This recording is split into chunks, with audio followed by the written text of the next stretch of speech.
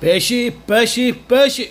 Gangster poppy Rana ਤੇ ਸੁਖਪ੍ਰੀਤ ਬੁੱਢਾ ਦੀ ਹੋਈ ਪੰਚਕੂਲਾ ਚ ਪੇਸ਼ੀ। ਦਰਅਸਲ, ਇੱਕ ਹਥਿਆਰਾਂ ਦੀ ਤਸਕਰੀ ਦੇ ਮਾਮਲੇ 'ਚ ਦੋਵਾਂ ਦਾ ਨਾਮ ਸਾਹਮਣੇ ਆਇਆ, ਜਿਸ ਤੋਂ ਬਾਅਦ ਕੜੀ ਸੁਰੱਖਿਆ 'ਚ ਇਹਨਾਂ ਨੂੰ ਕਪੂਰਥਲਾ ਜੇਲ੍ਹ ਤੋਂ ਪੰਚਕੂਲਾ ਲਿਜਾਇਆ ਗਿਆ। ਪੁਲਿਸ ਨੇ ਕੜੀ ਸੁਰੱਖਿਆ ਦੇ ਇੰਤਜ਼ਾਮ ਕੀਤੇ ਸੀ, ਕਿਉਂਕਿ ਇਹ ਕੈਟਾਗਰੀ ਦੇ ਗੈਂਗਸਟਰ ਨੇ ਤੇ ਦੱਸਿਆ ਜਾ ਰਿਹਾ ਹੈ ਕਿ ਬੀਤੇ ਦਿਨ ਇੱਕ ਗੈਂਗ ਫੜਿਆ ਗਿਆ ਸੀ। ਜਿਸ ਦੇ ਕੋਲੋਂ ਭਾਰੀ ਮਾਤਰਾ 'ਚ ਹਥਿਆਰ ਬਰਾਮਦ ਕੀਤੇ ਗਏ ਸੀ। ਜਦੋਂ ਇਹਨਾਂ ਕੋਲੋਂ ਪੁੱਛਗਿੱਛ ਹੋਈ ਤੇ ਪਤਾ ਲੱਗਿਆ, ਸੁਖਪ੍ਰੀਤ ਬੁੱਢਾ ਤੇ ਗੈਂਗਸਟਰ ਪੋਪੀ ਰਾਣਾ ਦਾ ਹੱਥ ਹੈ।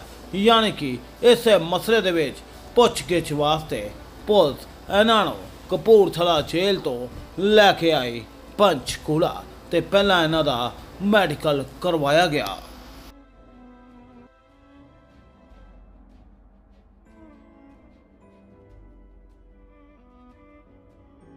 ਇਹਨਾਂ ਦੀ ਪੇਸ਼ੀ ਦੇ ਦੌਰਾਨ ਚੱਪੇ ਚੱਪੇ ਤੇ ਪੁਲਿਸ ਤੈਨਾਤ ਕੀਤੀ ਗਈ ਸੀ, ਕਿਉਂਕਿ ਦੋਵੇਂ ਪੰਜਾਬ, ਰਾਜਸਥਾਨ ਤੇ ਹਰਿਆਣਾ ਦੇ ਨਾਮੀ ਗੈਂਗਸਟਰ ਦੱਸੇ ਜਾਂਦੇ ਨੇ ਤੇ ਹਥਿਆਰਾਂ ਦੇ ਨਾਲ ਜੁੜੇ ਮਾਮਲੇ ਦੇ ਵਿੱਚ ਇਹਨਾਂ ਕੋਲੋਂ ਪੁੱਛਗਿੱਛ ਕਰਨੀ ਤਾਂ ਬਣਦੀ ਸੀ, ਕਿਉਂਕਿ ਇਹਨਾਂ ਦੋਵਾਂ ਦਾ ਨਾਮ ਉਸ ਵੇਲੇ ਸਾਹਮਣੇ ਆਇਆ ਸੀ, ਜਦੋਂ ਟੋਲ ਪਲਾਜ਼ਾ ਲਾਗੇ ਪੁਲਿਸ ਨੇ ਭਾਰੀ ਗਿਣਤੀ 'ਚ ਹਥਿਆਰ ਬਰਾਮਦ ਕੀਤੇ ਸੀ। ਇਸ ਤੋਂ ਬਾਅਦ ਜਦੋਂ ਇਹਨਾਂ ਦਾ ਨਾਮ ਆਇਆ ਤੇ ਪੁਲਿਸ ਨੇ ਪ੍ਰੋਡਕਸ਼ਨ ਵਾਰੰਟ ਤੇ ਲਿਆਉਣ ਦੀ ਪ੍ਰਕਿਰਿਆ ਸ਼ੁਰੂ ਕੀਤੀ ਤੇ ਅਦਾਲਤ ਤੋਂ ਅਨੁਮਤੀ ਮਿਲਣ ਤੋਂ ਬਾਅਦ ਇਹਨਾਂ ਨੂੰ ਪ੍ਰੋਡਕਸ਼ਨ ਵਾਰੰਟ ਤੋਂ ਲਿਆਂਦਾ ਗਿਆ। ਦੱਸਿਆ ਜਾ ਰਿਹਾ ਹੈ ਕਿ ਦੋਵੇਂ ਕਪੂਰਥਲਾ ਜੇਲ੍ਹ 'ਚ ਬੰਦ ਸੀ ਤੇ ਉੱਥੋਂ ਹੀ ਇਹਨਾਂ ਨੂੰ ਪ੍ਰੋਡਕਸ਼ਨ ਵਾਰੰਟ ਤੇ ਪੰਚਕੂਲਾ ਲੈ ਕੇ ਆਂਦਾ ਗਿਆ ਹੈ।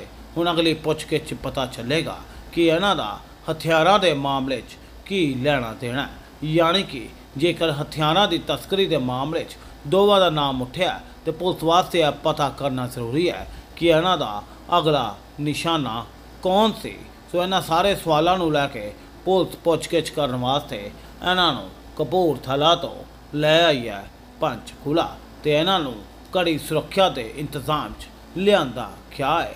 ਤੁਸੀਂ ਇਹਨਾਂ ਤਸਵੀਰਾਂ 'ਚ ਦੇਖ ਸਕਦੇ ਹੋ ਕੜੀ ਸੁਰੱਖਿਆ 'ਚ ਘਿਰੇ ਹੋਏ ਨੇ ਦੋਨੋਂ ਗੈਂਗਸਟਰ, ਦੋਵਾਂ ਦੇ ਕੋਲੋਂ ਹੁਣ ਪੰਚਕੂਲਾ 'ਚ ਹੋਏਗੀ ਪੁੱਛਗਿੱਛ ਤਾਂ ਕਿ ਹੋ ਸਕਣ। ਅਗਲੇ ਇਰਾਦਿਆਂ ਦੇ ਖੁਲਾਸੇ, ਫਿਲਹਾਲ ਇਹਨਾਂ ਤਸਵੀਰਾਂ 'ਚ ਦੇਖ ਸਕਦੇ ਹੋ ਕਿ ਸੁਰੱਖਿਆ ਦੇ ਕਿੰਨੇ ਪੁਖਤਾ ਇੰਤਜ਼ਾਮ ਕੀਤੇ ਗਏ ਸੀ। ਦੈਨਿਕ ਮੇਲ, ਪੰਜਾਬੀ ਟੀਵੀ ਦੇ ਲਈ ਪੰਚਕੂਲਾ ਤੋਂ ਰਮੇਸ਼ ਕੁਮਾਰ ਦੇ ਨਾਲ ਆਵੰਤਾ ਗਰਦੇ ਰਿਪੋਰਟ।